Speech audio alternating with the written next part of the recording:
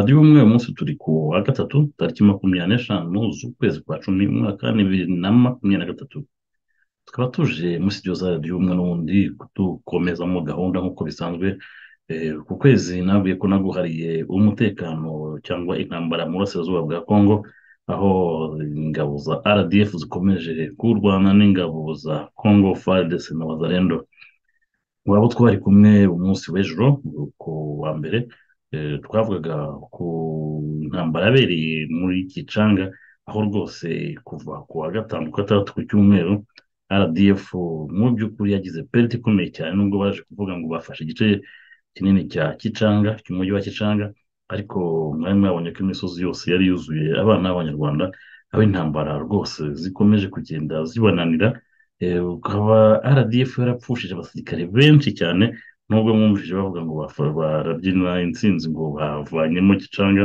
ariko mu by'ukuri cya igice gitoya cya gicanga ariko ikiguzi cy'abana b'abanyarwanda mwarakibonye ko imisozi yose yari yuzuye imirambo.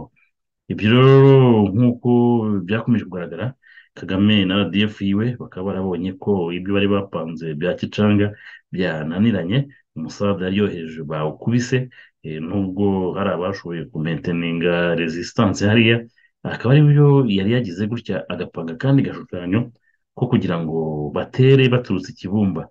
Murabona ko ikibumba hariya eh, hari rdf m makumyabiri na gatatu haga- hagati yabo na FARDC hakaba harimo abanyakenya. Ze- z'ejo z'ejo rero eh, ku wa kabiri mwumvishije zari mu by'ukuri zigambiriye kugira ngo batere kuri goma. Kuko gahunda zari zihari kuba ari ugutera ibirindiro byose bya FARDC na wazalendo biri muri nyiragongo. Ibyo rero byaba bikwereka ko mu by'ukuri cyari kigambiriwe ni ugutera umujyi wa goma. Noneho igihe barimo barwana n'iyo resistance yindi noneho abari muri masisi ari bo bari muri izo nzira za kicanga na za tongo bagahita baprofita noneho bakamanuka za kirorerwe bakagenda za rubaya noneho bakaba barayigose. Gahunda yari ihari niyo ngiyo.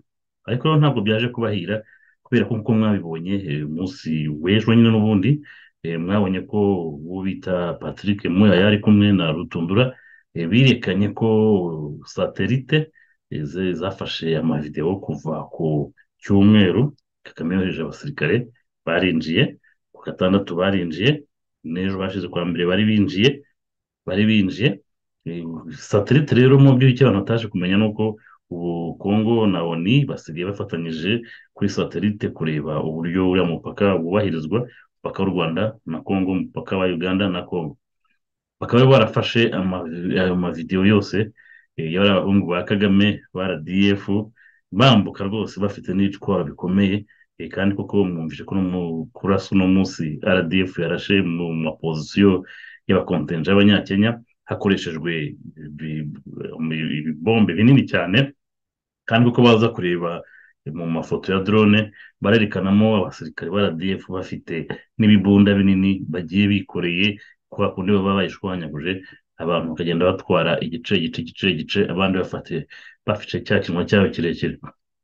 Rero byaragaragaye cyane Mm, Patrick Muya yerekanye amafoto amavideo arahari eh, turayafite twese turabifite bari bambutse igice cya mbere cyo ku cyumweru cyagera nko kuri magana ane ku wa mbere harinjiye abandi nabo ni nka magana ane mu cyumweru cyari ku wa gatanu cy'u- cyumweru cyari cyashize no ku wa gatanu harinjiye abandi nabo bagera kuri uwo mubare baza basanga ba bandi twababwiye binjiye bagera mu bihumbi.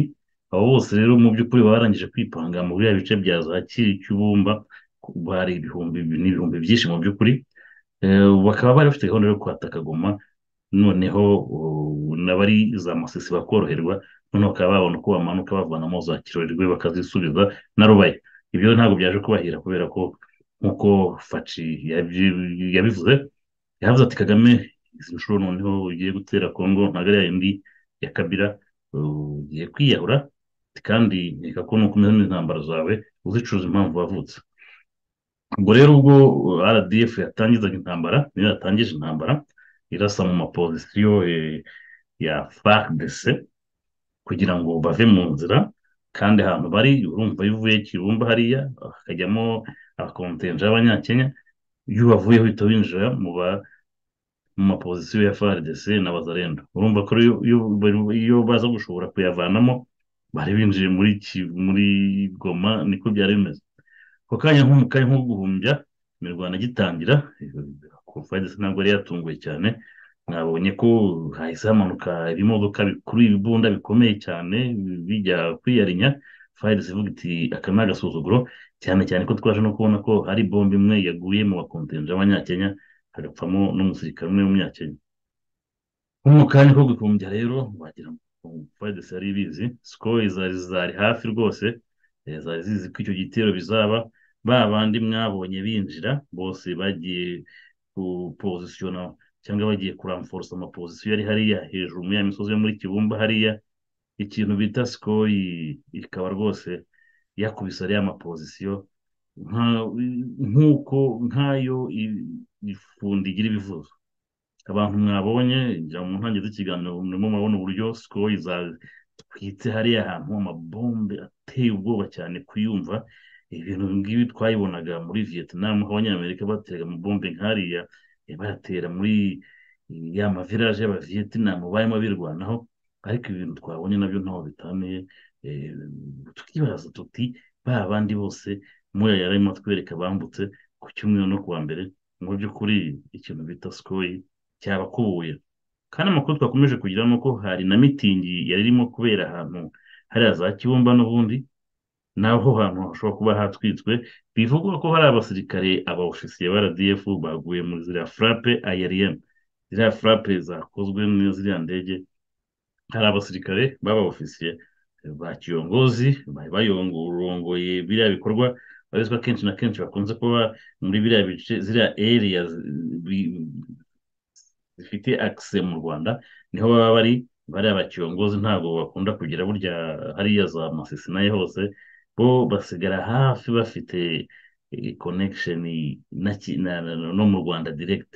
Bakaba rero mu by'ukuri ziriya ndege ubwo zahagurukaga bari bafite amakuru kuva ku wa gatanu ko RDF yagiye yinjira yinjira yinjira n'uduce bajyagamo bagiye babakurikirana babakurikirana babakurikirana ku buryo frappe uyu munsi zabaye cyangwa eh, bombardement mwabonye zaje zifite gahunda kandi ibirindiro bikomeye cyane rwose byashwanyaguritse ku buryo eh, ziriya detonation zariya mabombardement ya sikoye hari abasirikare none abarokotse batabanyitse bamwe bagiye batubaburukurwa eh, n'aba wazarendo. Byumvikana ko nabo bagiye gutanga andi makuru.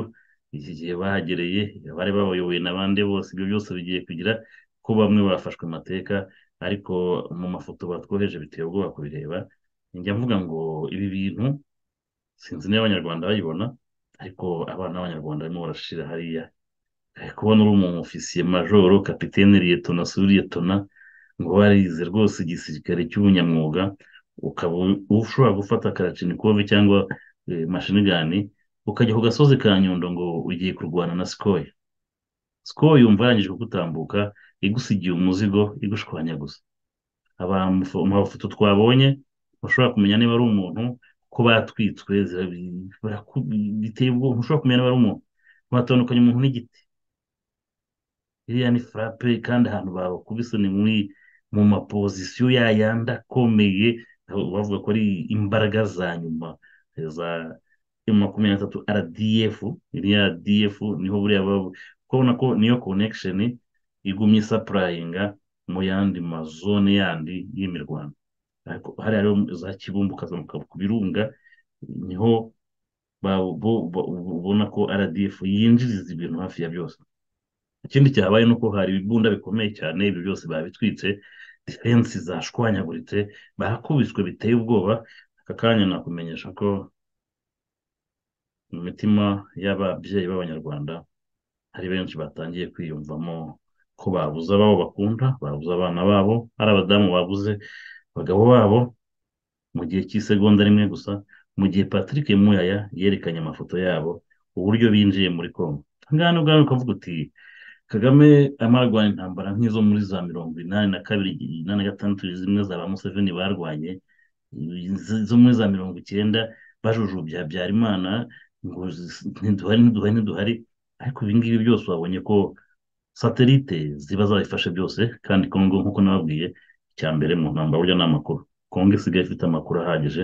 Mwabonye ko mu by'ukuri iyo ziriya sikoro zitaza RDF iba yaraye iri hafi hariya mu nkengero za Goma. Barimo barwanira mu mujyi hariya rwose. Iyo sikoro zitaza ariko ibyo zakoze ndakumenyesha ko RDF yatakaje ibintu yagize perte.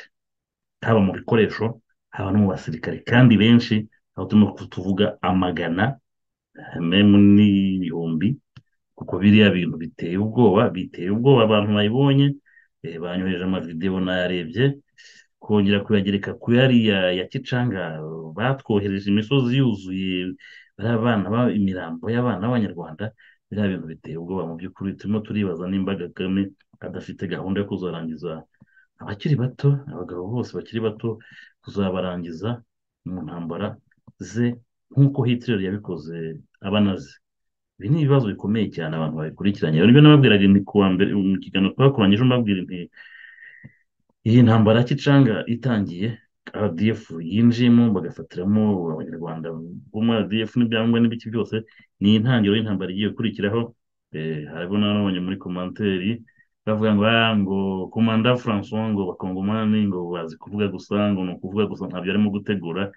Na yo babwiye ejo sikowe muzaje gutanga visiti kibumba mwayibonye kandi mu makuru ndimo kugenda mbona harimo aba ofisiye benshi ndetse bakomeye ba RDF bahitanywe na ziriya frappe cyangwa ziriya bombardement za sikowe ibi bintu biba biteye ubwoba mu by'ukuri ari byo turimo tuvuga tuti abanyarwanda banyoye umuti wo kujunjama banyoye umuti wo guceceka kuko izi ntambara abatarimo kuzibona kongo igatangira gukoresha imbaraga zayo nk'uko nabibabwiye biriya mwabonye iyo ugira ngo ni nk'i kigali haba hasigaye amazu angahe? Abanyarwanda ibintu biteye ubwoba abantu barimo kugumya guceceka kugira gute ariko ibi nta mikino irimo. Bariya n'abana ba rubanda barimo gupfira hariya.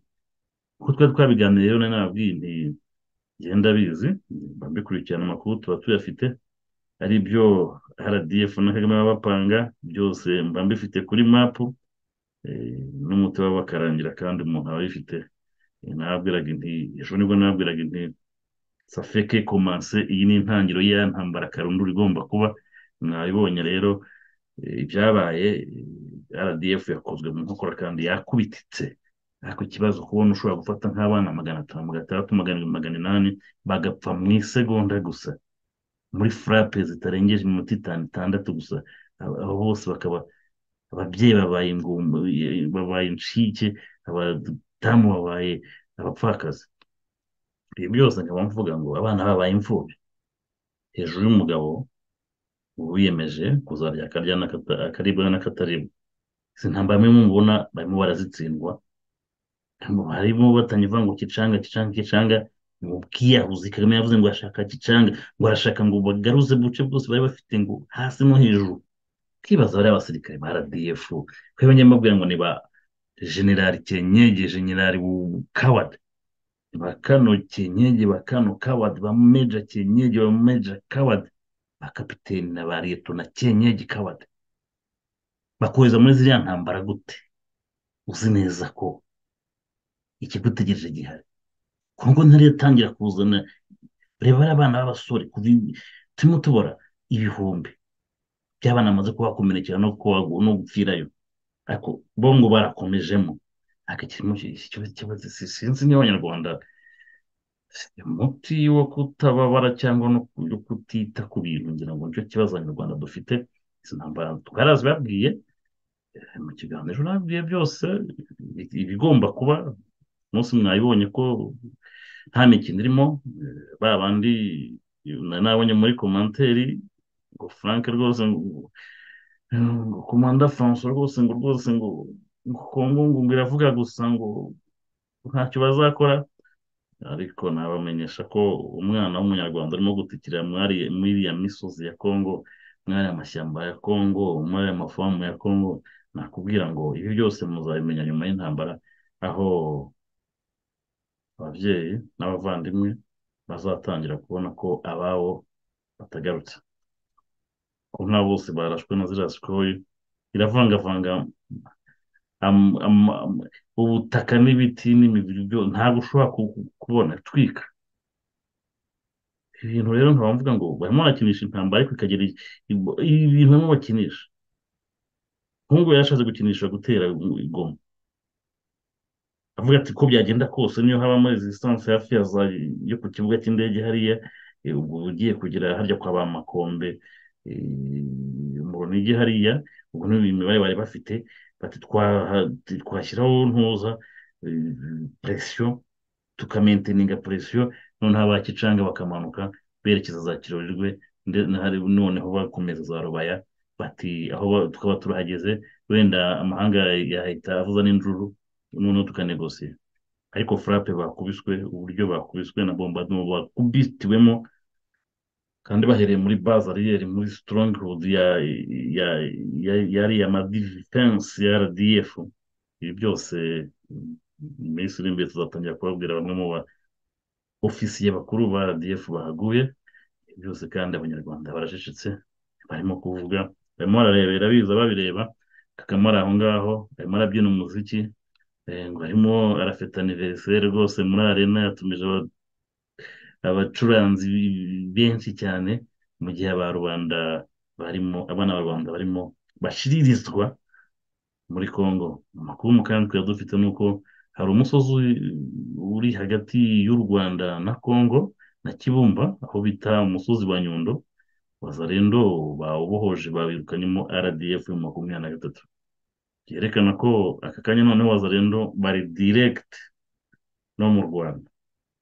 Ibi bintu nabwo ngo mugumye mubirebe mubicungire hafi ariko ya ntambara karundura izaba kandi umuntu bita paul kagame azamarisha abantu. Nongere nibarize abanyarwanda rubyiruko. Kutagira akazi ni byo bituma mwiyahura muri izi ntambara. Kuki mwayituga abohereza mukajya kwicwa mukajya gutwikwa na za sikoro. Kuki mwayituga abohereza za masisi hariya? Mukajya gufumbira amafamu ya za masisi? Ibi murabibona. Kuki mubyemera? Isi iri konekitedi amakuru murayafite. Ibindi ntambara arimo kubajyanamo nta n'umwe? Abazinjira nta n'umwe uzasubirayo. Ibyo barabizi. Nta ntambara iraba nta ntambara iraba aba ni abana ba rubanda barimo batwika. Ntabwo tuba tuvuga abantu icumi makumyabiri tuba tuvuga amagana amagana abapfiriye icyarimwe. Mwaza mukajya aho ngaho ngo ngo twafashe ngo igicanga. Mumaze kuruzinga abantu magana ane magana atanu umunsi umwe. Ibi byose bikaba bigaragara ko mu by'ukuri abanyarwandakazi ibihe birakomeye intambara irashyushye kibumbi iriya kamara kuvamo nabamenyesha ko bahedese ibintu by'imikino kongo irimo irabisohokamo. Kandi byabaye n'amahire byatangijwe na rdf anakoze n'amakosa batera bombe bakontinja abanyakenya. Biriya byatumye kongo hita ibyo bita ngo seserofe babirenga. Ejo kwa mbere mwabyibuka ko muya yerekanye amavidewo n'amafoto ukuntu rdf yambutse. Amagana amagana amagana. Muri ba bandi bambutse nibo uno munsi bawugize babonye visite ya sikoyi harokotse imbaga harokotse imbarwa hari utwo batoraguye twashoboye kurokoka nk'utwo tuzabara inkuru uko byagenze aho ngaho bari mu maboko ya FARDC ubu ngubu tuvugana. Abo nabo bazaduha amakuru menshi cyane. Ariko abanyarwanda n'abanyarwandakazi rero ibintu bikaba bibabaje cyane. Ariyo myambabwira ngo dufite ikibazo aho umugabo igihugu cyose yakigize ibiragi eh, akabigira abanyabwoba. Afite abantu bize vurema abasirikare bize abajenerali mirongo itanu na bangahe akabona ntazi umubare. Barimo gutwikirwa muri Kongo na za Sikoyi ibintu simbizi. Yabahaye cyangwa iki? Ntabwo nkeka ko ari ugutinya gupfa ahubwo harimo n'ubugwari bongere mvuge ngo igihugu cyagize ibyago kibyara abakoloneli b'ibigwari abajenerali b'ibigwari abamajoro b'ibigwari abadepite b'ibiduma b'ibiragi abasenateri b'ibiragi. Ariko umunsi siko yabasuye i kigali. Nemeza ko bazavuga.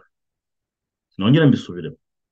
Umunsi siko yabasuye i kigali mwe mwese badepite. Basena nzi ko muzavuga muceceke basirikare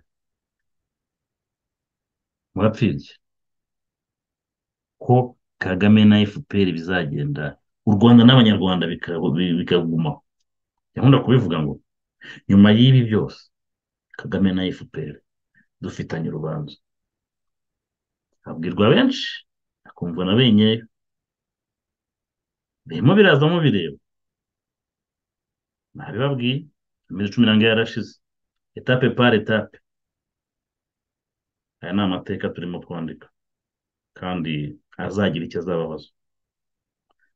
Nk'uko bisanzwe rero abanyarwanda n'abanyarwandakazi murabibona ntabwo mba ndi muri studio aho nsanzwe nkorera nk'uko ku rugamba ari ku rugamba niyo turi mu makarito twebwe turi fiyeri yayo turiyaranja tugakora akazi tukarwana urugamba niyo mpamvu muba mubona rimwe na rimwe nkora ibiganiro bigufiya cyane kubera nta mwanya mba afite mba niyibye mvuye mu makarito noneho umuntu agakora ikiganiro gitoya aho umuntu aba ari muri hoteli murabyumva namwe uko ibintu biba bimeze. Ariko mu minsi iri imbere iminsi mikeya tuzaba twagarutse muri studio aho noneho tuzaba tuba dufite umwanya uhagije wo kwanariza byinshi cyane tukagira n'abatumirwa dutumira ariko nkababwira ngo imvura igwa igwa itagwa neje igwa itagwa izuba riva rirasa cyangwa ritarasa akazi tugomba kugakora tukakavanga n'ibyo tubamo byose. Ariko banyarwanda ahubwo navuga ngo umunyarwanda nkurikira kuri radiyo ubumwe n'ahandi hose dutanga ibiganiro. Ukora iki mu gusapotinga uru rugamba? Gere mediyatike uru ni urugamba ruri. Gere mediyatike kandi icya mbere ni amakuru. Iyo nta makuru ufite umera nka bariya bifobagane bya kigali. Bari aho ngaho bari muri n'ababyina mu gihe abandi bana ba rubanda barimo gutwikirwa na sikoyi muri congo. Nkavuga ngo umunyarwanda gerageza ugire icyo ukora. Nta ushobora kugira icyo ukora. Ushobora nko kuvuga uti ngewe wenda radiyo ubumwe murabizi igira ubwirinzi kuri interinete igira za zumu zishyurwa igira za yutube zishyurwa tugira abanyamakuru impande n'impande tuba tugomba kubonera amayinite cyangwa se n'amataransiporo kugira ngo tugerere iyo za kicanga cyangwa tugerere iyo za kibumba tubonere amakuru ku gihe tuba dufite hari ibintu byinshi cyane bikenewe kandi nawe tuvuga ngo mwese muze ku maradiyo birumvikana ariko aho uri hari icyo ushobora gukora ufasha kuri uru rugamba turimo. Utitaye ku isura y'urwo rugamba ibyo nshatse kuvuga ibi byose kugira ngo tubigereho hari abitanga reba imyaka tumaze kuri radiyo ubumwe n'abandi bose babirimo gerageza aho uri aho ukorera ariyo mpamvu nkunda kuvuga ngo nimba ushaka gutera inkunga radiyo ubumwe kugira ngo turusheho kubageraho mutagera turusheho kubacukumbura mumenye ibihishe n'icyo biba bisobanuye amagambo aba avugwa ese abasobanuye ibiki? Ese ibitero biba byabaye biba byagenze mugerageze mufashe radiyo ubumwe nkeka ko muzi paypal ya radiyo ubumwe abandi nabo nkeka ko bazi nimero yanjye. Abashaka kumenya uburyo bafasha radiyo ubumwe nshobora ushobora kumuhamagara no kuri nimero yanjye murayizi. Cyangwa se mukajya kuri radiyo ubumwe murebye hariya hariho paypal ihaba aho ushobora kuba watanga ubufasha bwawe nta kibazo rwose kugira ngo turusheho kunonosora imikorere no kumenteyininga cyane cyane ko muba mubizi ko dukunda kugira ibitero byinshi cyane eh, bya kigali byumvikana biba bishaka kugira ngo bitubuze cyangwa biducecekeshe ariko ubwo bwirinzi rero urumva ko ntabwo ari ubw'ubusa natwe bidusaba biba bidusaba namwe kugira icyo twigomwa kugira ngo tugire umutekano wa radiyo yacu hatagira ikiyihungabanya. Akaba ari wo nkunda kuvuga ngo rero dushimiye nabo bose kandi baba bitanga Eh, ntimukajye mwumva gusa ngo wenda mwumve ibiganiro gusa mujye mugira ngo ngaho rwose namwe muvuge muti reka natwe tugire icyo dufasha. Iyi radiyo kuko iyi radiyo ni iya revolisiyo kandi bumva ko urwanira eh, impinduramatwara ugomba kugira icyo nawe wigomwa utanga. Nk'ube wa wundi gusa wo kureba ibiganiro hagezweho ibiki hagezweho ibiki urumva ko buriya mu by'ukuri nkeka ko ariyo mpamvu n'urugamba ruba turi rutihuta cyane. Ariko dukomeze dushimira bose baba bitanga n'abandi bafite gahunda yo kwitanga. Nzajya nsaba muri muri studio bajya bashyiraho irya paypal abantu bashobora gufashirizaho na nimero yanjye. Benshi nzi ko banayifite noneho turebe ko twarushaho gukora neza aka kazi nk'uko bisanzwe rero reka mbasezere nk'uko bisanzwe yari francois mutuyemungu ku buyobozi bwa radiyo ubumwe kandi mbasezeranya ko aya makuru y'intambara tugomba kuyakurikirana cyane kubera yuko iki gihugu cyacu turagikunda uretse biriya bifobagana bishaka kuzasiga bikigize umuyonga nongere mbisubiremo nyuma ya kagame na fpr dufitanye urubanza. Kandi abibeshya ngo ahazajya nababwira ngo kagame na fpr bazagenda ariko u rwanda n'abanyarwanda bizahoraho abahutu abatwa abatutsi tuzakibanamo murakoze.